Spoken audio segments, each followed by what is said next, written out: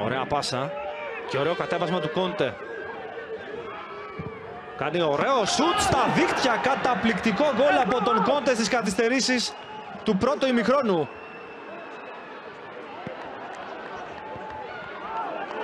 Μηδέν ένα ο Παζιάννενα.